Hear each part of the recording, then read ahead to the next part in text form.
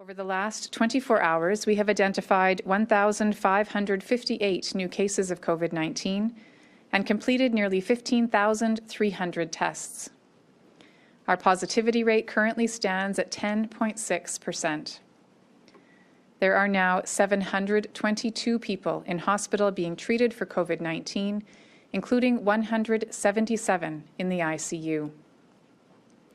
Sadly, I must announce that nine new deaths were reported to Alberta Health in the last 24 hours.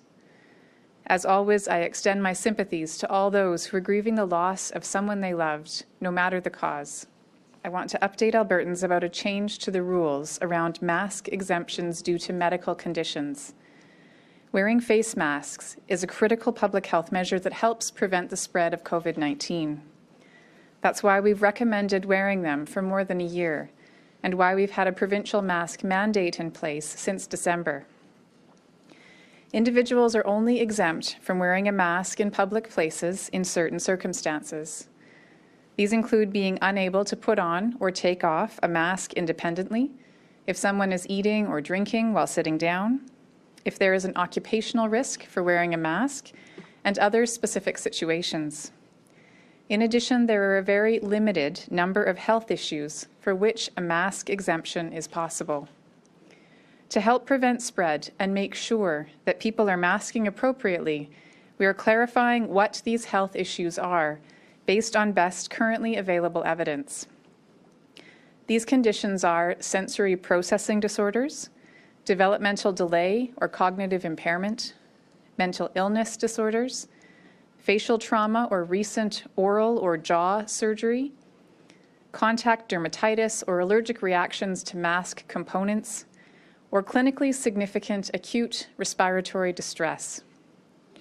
Effective today, in order to verify that someone has a medical condition that makes them unable to wear a mask, Albertans with these conditions will require a medical exception letter from a health professional. This letter is important to have, especially if requested by enforcement officials for not complying with the legal requirement to wear a mask in indoor public spaces. Letters must come from a nurse practitioner, physician, or psychologist. More details about what needs to be included in this letter are available online, and guidance has been shared with the professional colleges of the healthcare practitioners who are authorized to write these letters. We are modeling this after the approaches already being used in Saskatchewan and Quebec, as well as resources developed by the Manitoba College of Physicians and Surgeons. This change is not meant to punish people unfairly. It's meant to ensure anyone who is capable of wearing a mask complies with this important public health measure, intended to keep us all safe, which is especially important during this third wave of COVID 19 in the province. We've been in discussions with our teams for a while as we've seen, uh, again, some of the reports that have been um, conveyed to us by our teams on the ground. And as well, obviously, there has been uh, there have been some incidents reported in the media where individuals who are not following public health rules are perhaps seeking loopholes or areas in the rules where um, it's not clear, and that's uh, sometimes challenging our local law enforcement teams to be able to remind people of the importance of following these rules and the fact that they are not optional, they are mandatory.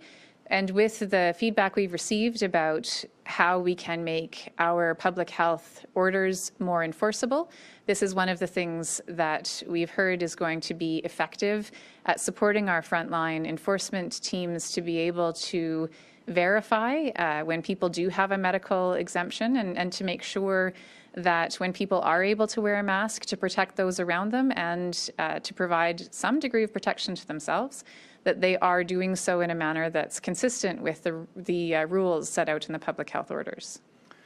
I think that uh, it's a bit soon to make a final declaration. As you mentioned, our positivity rates remain high and have been 10% or greater for some time now the number of daily cases is a factor of both the positivity rate as well as how many lab tests are processed, uh, which again is a, a, factor of how many people are presenting for testing. So I think right now, while our number of new daily cases has declined somewhat.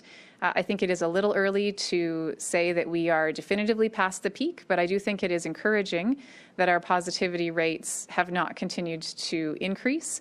And so, again, we, we're just watching closely, uh, and I think we're in a, a time of um, uh, hopefully turning the corner, but it's too, it's very, very much too soon to declare that this is indeed behind us. And I think, again, we'll, we'll see in the coming week what those numbers look like as our testing uh, typically increases throughout the week, decreases a little over the weekends. So our our Sunday and Monday numbers are typically a little bit lower. So I think again over the next week we'll be able to see whether or not uh, we remain at a, a very high plateau or whether indeed we have turned a corner and our cases are declining.